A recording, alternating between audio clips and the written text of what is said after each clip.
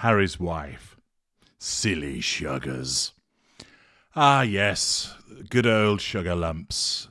Stupid buggers that they are, invariably squawking in their epsilon semi moron way about matters that they have no real understanding, evidencing a slavish devotion to the Duchess of Sussex, Lord knows why. Well, of course, we know that part of it is that she represents the hopes and dreams that they have that anybody could become a princess or queen and have access to lots of money. And they don't like it, the fact that people have turned on her, not because of her skin colour, but everything to do with the fact that she's a narcissist and her behaviour. Of course, we all like to have a laugh at the sugar lumps because they're a dim witted lot, and if you haven't already accessed parts 1 to 6 of Let's All Laugh at the Sugars, then you really need to ask yourself what you've been doing with your life recently.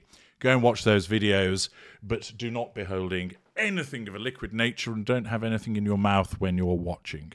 You're liable to spray it all over the screen or choke.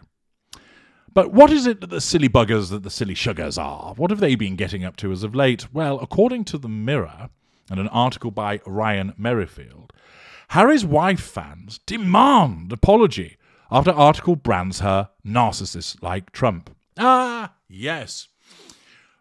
The low cognitive functioning sugars seem to believe that they can bang on the desk and demand an apology because their queen has been labeled a narcissist. Notwithstanding the fact that it's completely accurate, and the evidence that supports that is overwhelming, and of course, the analysis from your glorious narrator demonstrates that that's the case. But also, who are they to demand that an apology be given? Ah, okay. This is the way of mob rule, isn't it? This small yet vocal group. I don't like what you're saying. Of course, Harry's wife is allowed to speak her truth. Harry's wife is allowed to talk about her love story. Harry's wife is able to give her perspective, and as we all know, it's the narcissistic perspective. But everybody else can fuck off when it comes to speaking about what happened.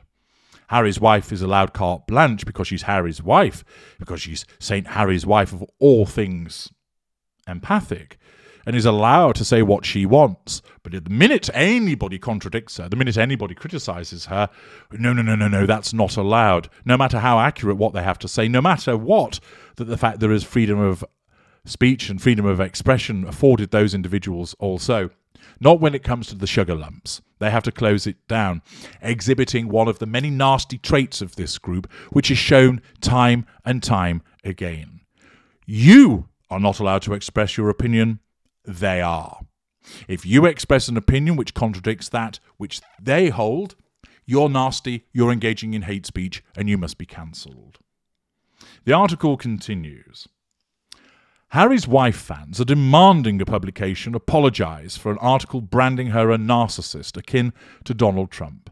The political opinion piece, titled 2022 is the year we all finally got tired of the narcissists, also compared the Duchess of Sussex to the likes of Kanye West, Elizabeth Holmes, and Sam Bankman Fried. But some have slammed author Joanna Weiss's work as racist on social media. Yes, well, the ones doing the slamming are clowns. It comes after, as the Mirror previously reported, Netflix docu-series Harry and Harry's Wife allegedly left Prince William utterly furious due to further attacks on the royals. On top of the series, part of the couple's multi million pound deal with the streaming service, the Sussexes have far from kept a low profile this year. But they, didn't they want privacy? Earlier this month, they received an award at the Nipple of Grope ceremony in New York, while Harry's new autobiography Spare is out in January. Adding to the controversial allegations made in their bombshell chat with Oprah Winfrey last year, they have both featured in further interviews since, leaving the firm uncomfortable. Referring to various narcissists across 2022, Weiss's column includes the line, Some of them got their comeuppance, and some of them got worse. Our disinterest. Christopher Bouzy, who appears in the Netflix show, wrote on Twitter Harry's wife's only offence is having defended herself while being black. Well, of course, he's desperate to support his paymistress because without her, he will probably having to file for bankruptcy again as a consequence of not being able to pay his rent. In contrast, he branded others in the piece criminals, and in the case of West, an anti Semite. He said, Placing Harry's wife at the centre of criminals and anti Semites is not an accident. The hate for Harry's wife is palpable. A woman of colour protecting her family and defending herself isn't narcissism, it's survival. No, you don't understand what narcissism is, you clown, but I've explained this in parts. Pass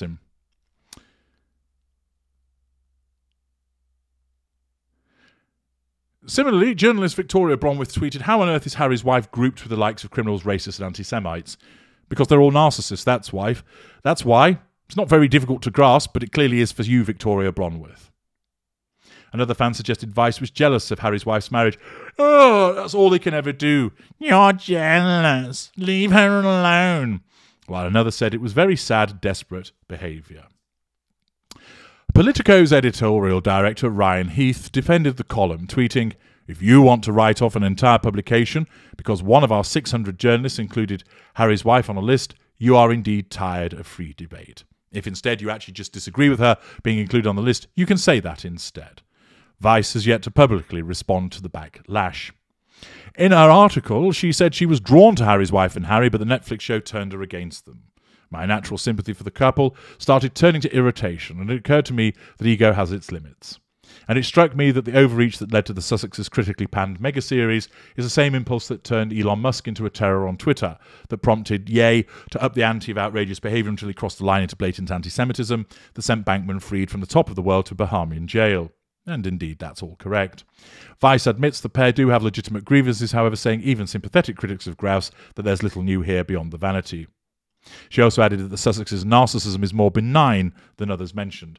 Well, it certainly isn't for those that found themselves on the end of social ostracization, familial ostracization, and workplace bullying. But there we are.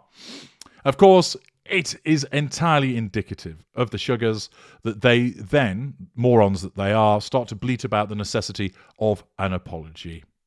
That they feel that they need to demand things on behalf of their mistress. A quick dip below the line gives us a flavour of what people think about it all. Wixie, the hate for Harry's wife is palpable. I wonder whose fault that is. Maybe it's due to the many claims and accusations that she and Harry have levelled at the royal family, which have now proven to be lies, falsehood, and being economical with the truth. Ziggy, I'm baffled as to how Harry's wife and Harry have got fans. Who in their right mind would like anybody that has betrayed their family so publicly, so many times with such venom? And the worst thing, it's for money. It's nothing to do with being racist or for survival or anything else, just the money, which of course is a residual benefit. Very sad that they can't come up with anything else to make a living. Canisk, Trump deserves an apology for the comparison. Oh, ho, ho. Ellie Wood, nothing racist calling someone a narcissist. She can state what she wants and then doesn't like the backlash when found to be untrue. Families have problems, but we don't go running to Netflix. Yorkie 53. Truth hurts, doesn't it, Harry's wife? The world now knows you're a, fa- you're a fake. How sad. You thought you were going to be the queen, and you didn't cut it. Truth 2020. Only narcissists understand other narcissists. That's the only fan club that they have. Spud 2020. Narcissistic, very non princess Pinocchio Medusa and a half wit doormat husband. Gingeroid deserve zero coverage. Proper person, journalist Victoria Brownworth. She states unbridled racism levelled at Harry's wife. Has she cited an example? No. Anything negative said about Harry's wife is racist. Again, demonstrates the knee jerk reaction of these individuals.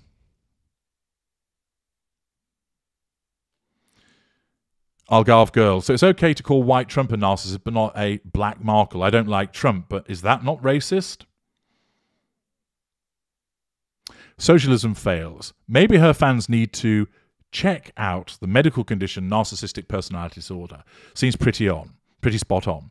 A mental health condition in which people have an unreasonably high sense of their own importance. They needn't seek too much attention and want people to admire them.